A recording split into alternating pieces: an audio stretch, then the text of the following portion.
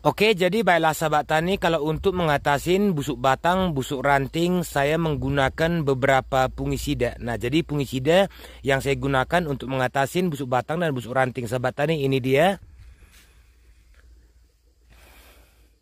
Yang pertama, saya menggunakan yang berbahan aktif klorotanonil 75%. Jadi ini dimix dengan fungisida yang berbahan aktif, ini dia.